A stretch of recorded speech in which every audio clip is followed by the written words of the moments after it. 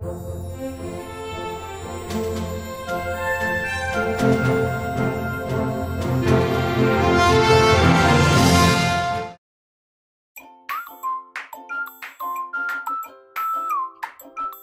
गाँव में एक जेसीबी रहता था। एक दिन वो जेसीबी एक कीचड़ वाली रास्ते से होकर खेत से गुजर रहा था। उसी गाँव में एक ट्रक भी रहता था। ये अपने साथ ढेर सारी सब्ज़ियाँ ले जा रहा था और वो भी उन्हीं खेतों में से होकर गुजर रहा था। अचानक से ट्रक कीचड़ में फंस जाता है। वो इसमें से बाहर नहीं निकल पा रहा था। वो वहाँ पर अटक गया था और उसे बहुत चिंता हो रही थी। जब जेसी भी खुशी खुशी चल रहा था उसने देखा कि एक ट्रक कीचड़ में फंसा हुआ है। वो ट्रक की मदद करने के लिए उसकी तरफ़ बढ़ता है।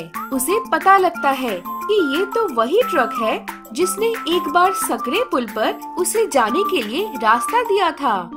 वहीं एक छोटी सी नदी के ऊपर एक सकरा सा पुल था। वो पुल इतना सकरा था कि उसके ऊपर से एक बार में एक ही गाड़ी निकल सकती थी। बुलडोजर उस पुल को पार कर रहा था।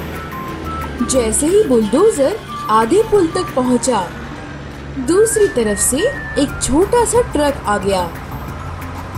ट्रक बुलडोजर से बहुत तेज चल रहा था क्योंकि वो बुलडोजर जितना बड़ा नहीं था। दोनों गाड़ियाँ आमने सामने आ गई और पुल के बीच में रुक गई क्योंकि पुल के ऊपर से एक ही गाड़ी निकल सकती थी। इसलिए दोनों में से एक भी नहीं चल पा रही थी और दोनों पुल के बीच में अटक गए।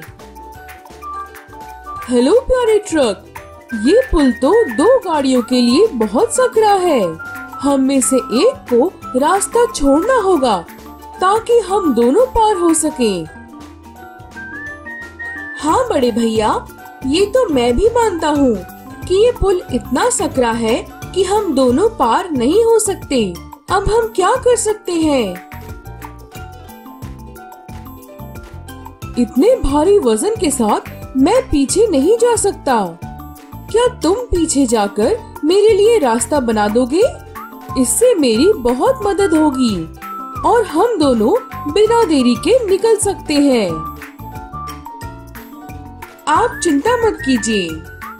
मेरे लिए आसान है तो मैं पीछे चला जाता हूँ। और ये मेरी गलती थी। आपको पुल पार करते हुए देखकर भी मैं यहाँ आ गया।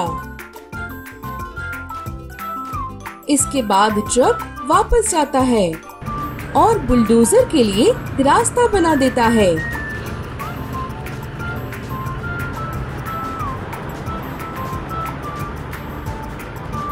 पुल पार करने के बाद बुलडोजर ट्रक के पास रुका।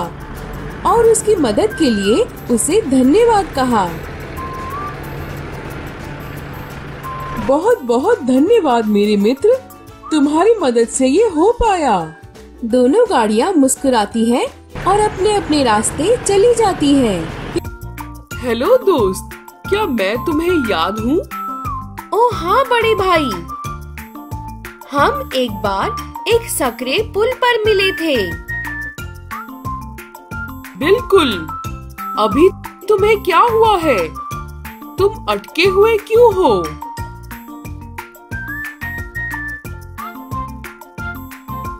मैं एक खेत से आलू लादकर वापस आ रहा था। अचानक से मैं कीचड़ में फंस गया।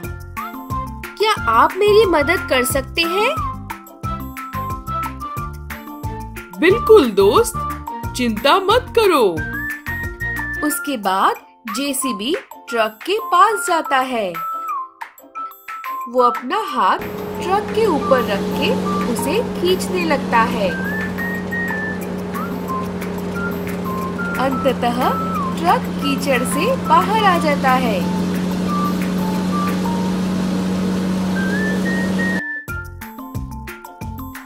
बहुत बहुत धन्यवाद बड़े भाई। कोई बात नहीं दोस्त दरअसल, मैं कृतज्ञ हूँ कि मुझे बदले में तुम्हारी मदद करने का मौका मिला। बाय मेरे दोस्त। दोनों अपने काम पर खुशी खुशी चले जाते हैं। प्यारे बच्चों, हमें कृतज्ञता का पाठ सीखना चाहिए। जेसीबी ने ट्रक से मिली मदद को याद रखा और उसकी मदद की। जब हम किसी की ज़रूरत में उसकी मदद करते हैं तो हमें वो मदद वापस मिलती है, जब हमें मदद की ज़रूरत होती है। हमारे चैनल को सब्सक्राइब करें, ताकि हमारा कोई भी वीडियो मिस न हो।